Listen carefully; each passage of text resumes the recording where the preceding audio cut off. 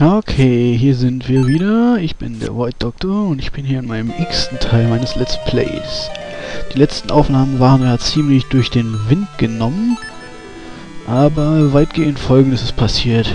Wir haben eine weitere Festung gefunden, einen komischen Roboter, haben rausgefunden, dass wir das magische Schwert Dämonenklinge sofort finden können und nicht nachdem, erst nachdem wir 100 Festungen durchkämmt haben.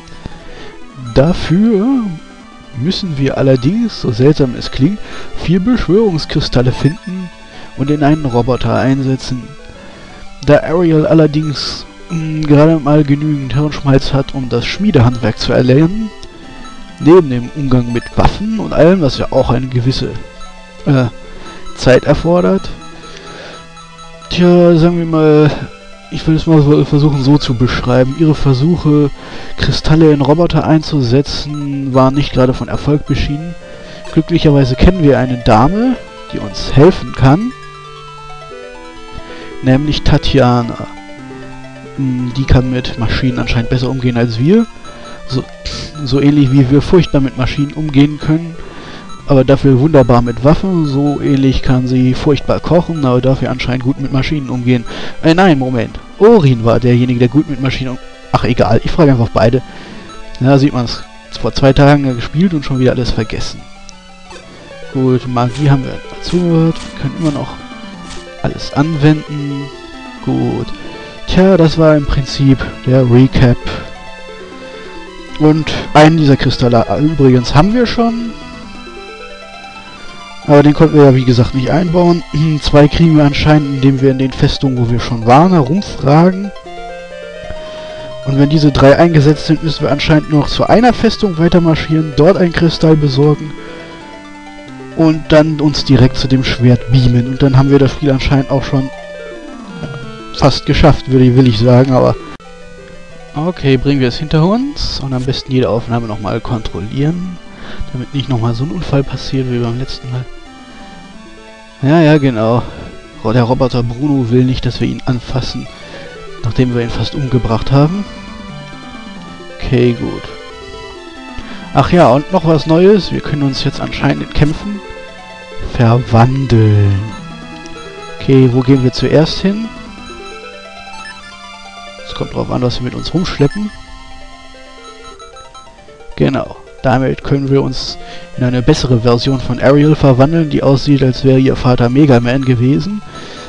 Aber so wie ich das bisher abschätzen konnte, könnten wir anscheinend dann da als Ausgleich keine Magie und keine Gegenstände anwenden. Dafür schlägt sie kräftiger zu und kann weniger Schaden einstecken. Damit meine ich, dass sie weniger Schaden nimmt.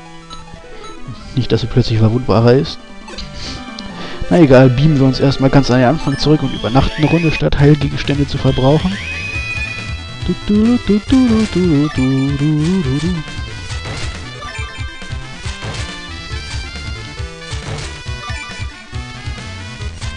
So. Bin ja mal gespannt, wann wieder mal Nachtzeit ist.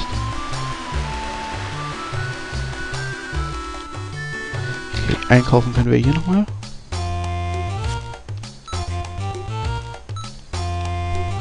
Ja, ja, ja, ist ja gut. So, das Kaufen und Verkaufen habe ich euch jetzt erstmal erspart. Ich habe sowieso nur Heilgegenstände eingekauft. Machen wir wahrscheinlich noch tausendmal. Das überspringen wir mal, damit es schneller geht. Oh, Rocky. Äh, oh, Ariel. Ah, Rocky ist nun mal bei uns hier. Fehlt nur noch Bullwinkel. Ja, gut. Er spielt nicht mit Kara und er will Tatjana treffen. Yep. Oh, er mag diese Süßigkeiten wirklich. Das ist wahrscheinlich in Wirklichkeit Lakritze oder sowas. Und, und darum denken sie, dass das alles wirklich schrecklich schmeckt. Und er weiß nicht mal, dass das Süßigkeiten sein sollen, weil er denkt, das soll Lakritze. Aber warum erkläre ich das überhaupt? Da stecke ich wahrscheinlich mehr Gedanken rein, als die Schreiberlinge für diesen Kram. Ja, jetzt erklärt sie, ein Detail, oh Gott sei Dank, uns werden 300 Textwelle erspart. Ach, nee, könnte das sein? Verdammt, das, was hat sie ihr erzählt? Das ist doch genau... Oh Mann, ich kann's nicht fassen.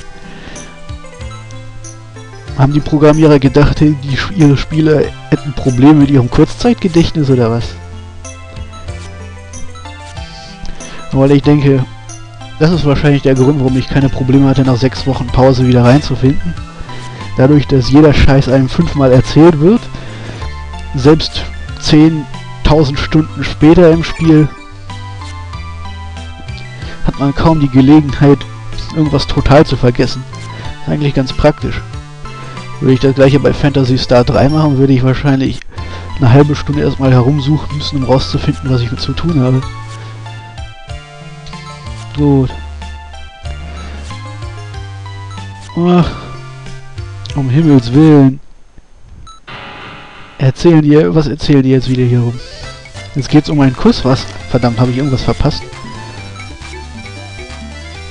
Ach so. Wegen Rocky.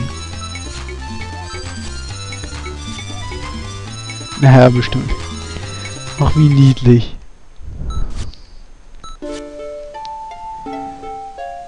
Oh, er hat, sein Herz gebrochen gekriegt. Oh, du bist so herzlos, nicht wahr? Ha, gut für dich. Das ist alles ihr Fehler.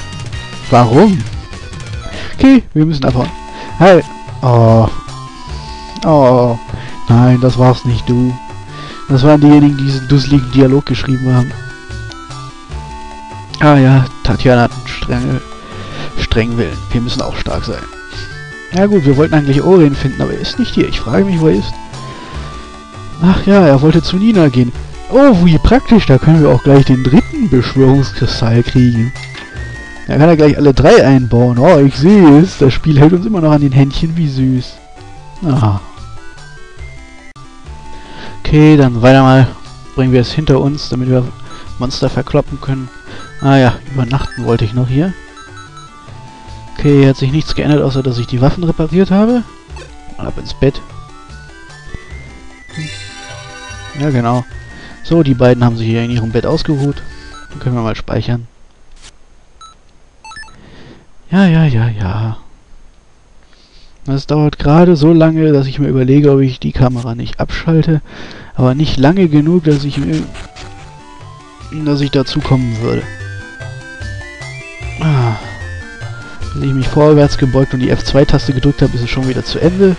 Dann muss ich sie wieder drücken, um die Software wieder einzuschalten. Also spare ich mir den ganzen Stuss und renne einfach nach draußen jetzt.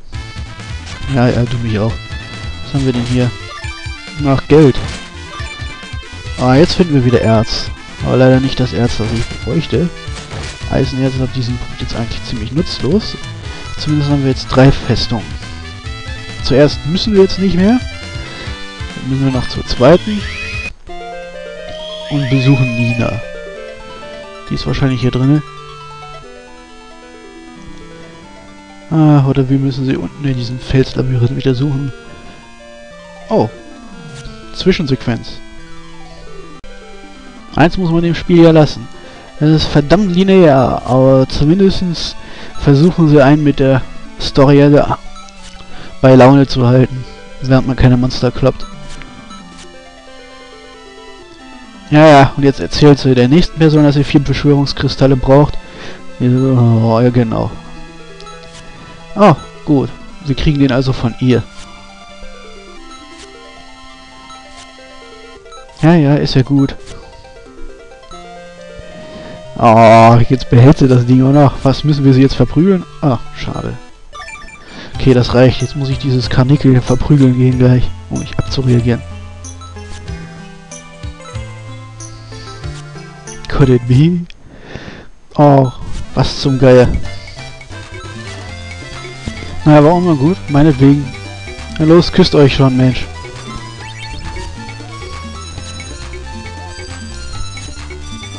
Die lesbischen Untertöne werden immer stärker. Ja, ja. Mit anderen Worten, wenn der Spieler das Spiel ausgemacht hat, oder was? Jetzt reden sie wieder darüber. Zu Hause. Ryoga, alleine und... Ja, ja, ja, ist ja gut. Abgesehen von diesem Beschwörungskristall war das eigentlich ziemlich sinnlos. Aber es war doch ein bisschen amüsant. Meister, du Feigling. Wenn du es nicht tun willst, lehne einfach ab. Ja, genau. Gut, jetzt haben wir drei von diesen vier blödsinnigen Kristallen, die wir zum Teleportanten bratieren brauchen. Und damit brauchen wir jetzt nur noch Orin. Dann gucken wir mal, wo der steckt. Okay, Suche 1. So, rennen wir hier mal rum. Hier haben wir schon alles ausgeräumt. Dann gucken wir mal.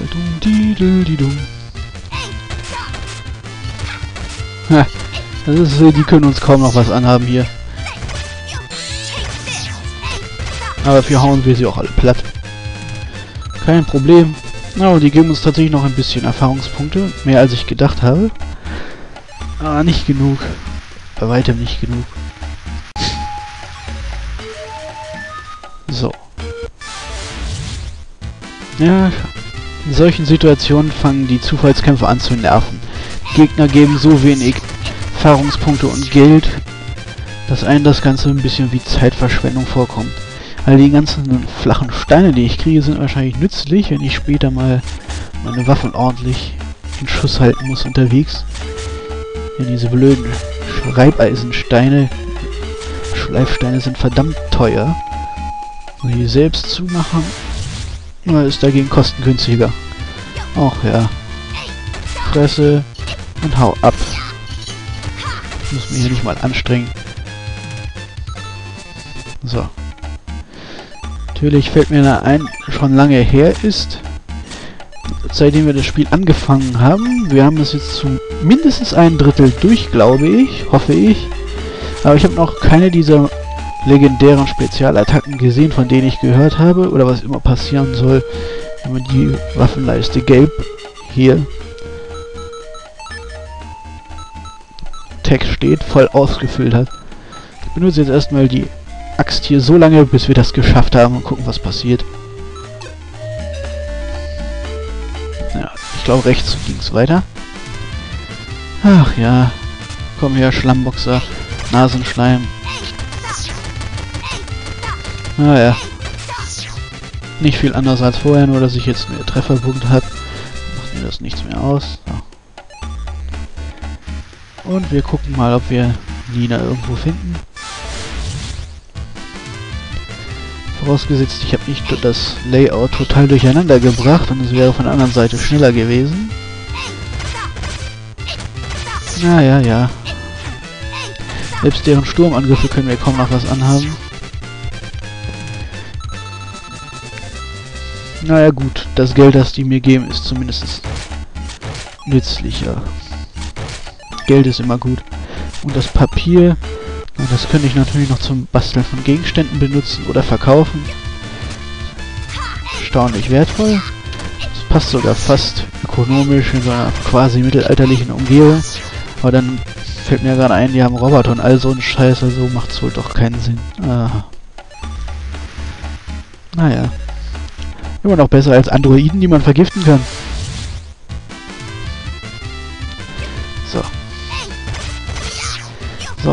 Her, Axt ihm genau. So. Gut, versuchen wir es hier mal. Wir müssen ja irgendwie wieder zurückkommen und...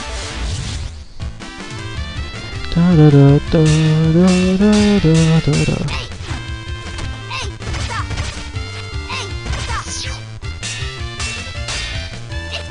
Ja, probieren wir mal alles durch hier. Okay, wo lang jetzt? Gehen wir mal links. Oh, ach ja. Brauchen wir eine Spezialwaffe. Genau. Ja, hauen wir mit der Faust gegen. Dann geht's hier lang. Easy peasy. Und da fällt mir ein, ah ja, na gut. Ich wollte eigentlich gucken, ob man diesen Gegenstand zum Verwandeln jetzt ausrüsten kann. So. Aber erstmal muss ich die hier klein hobeln. Okay. Genau. Item. Äh, nee. Equipment, das war's. Äh, nee, das war's nicht. Genau, Support. Jetzt fällt mir wieder ein. Ja, genau. Wir können es ausrüsten. So. Ah, Schwermetall ist schon mal ein bisschen besser. Das können wir zum Upgraden verwenden. Mal sehen, was daraus wird. Aber wir sind natürlich total in die falsche Richtung gelatscht. Das ist typisch. Allerdings kann ich gleich diesen roten Stein demonstrieren. So, jetzt testen wir ihn mal. Ah, zu schnell. So. Verwandlung. Zap, zap. I have the power. Oh. Gut, diesmal können wir Magie und Items einsetzen. Und wir hauen so stark zu, dass es schon richtig gemein ist gegen Gegner, die so schwach sind. Oh, und wir können doch nicht. Hat nur eine Weile gedauert. Ja, ja, gut. Jetzt haben wir das nochmal getestet. Dürfte allerdings bei Endgegnern gut sein. Vorausgesetzt, man vergisst das Heilen nicht. Ah ja. Hau dagegen, mach den Weg frei. Und weiter geht's. So, wir haben sie gefunden. Oh, Ariel. Hi, Nina. Ich wollte, bin eigentlich hier, um mit Orin zu sprechen, aber was soll's. Jupp, worum jetzt? Ich brauche deine Hilfe, Orin. Ich bin leider zu unfähig bei mir, was Maschinen betrifft. Kannst du kurz mit mir mitkommen? Warum? Weswegen? Du bist die einzige Person, die wir kennen, die uns hier helfen könnte. Was ist los mit euch? Ihr wollt Hilfe? Spinnt ihr total? Na gut. Wenn ihr aufhört zu quatschen, komme ich mit. Ich würde gleich mitkommen. Vorsichtig, Ori. Das werde ich. Okay, das ging erstaunlich schmerzlos. Und deswegen brauche ich deine Hilfe. Ich habe halb erwartet, dass das Spiel jetzt nochmal fünf Minuten damit zubringt, mir nochmal alles hin und her zu erklären. ah gut. Du willst also, dass ich den Beschwörungskristall hier in Bruno einsetze? Nee, wir wollen, dass du ihn isst. Jetzt fang endlich an, Mensch. Ja, Idee. Ah, Mensch, ich hätte nie gedacht, dass ich die Chance kriege, einen Mechanoiden-Soldaten herumzubasteln. Ach, ich habe so ein Glück, dass du schlecht mit Maschinen umgehen kannst. Hey, ich da... Ich denke nicht, dass ich so schlimm bin. Ich meine, die Maschinen explodieren links und rechts, wenn ich sie auch nur berühre, aber... Yep, du bist schlecht. Hm. So, okay, gut. Der Klingenfechter braucht immer noch drei Beschwörungskristalle mehr, bevor wir weitermachen können. Ha, aber zwei haben wir ja schon gefunden. Oh, ja. Wir brauchen immer noch drei, aber zwei haben wir ja schon. Yep, gib sie ihm.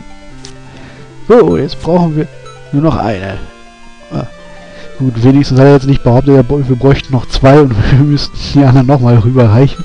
Das wäre wirklich der, das letzte gewesen. Ja, ich weiß, da ist noch eine andere Festung. Glücklicherweise sind es nur vier. Yep, das könnte sein. Ich meine, wir haben in jeder anderen Festung eine gefunden. Also gibt es natürlich die Wahrscheinlichkeit, dass wir jetzt in der neuen auch was finden. Also los, deiner. Ach ja, du hast keine Wahl. Du hast jede Wahl. Himmels Willen. Nerv jetzt nicht.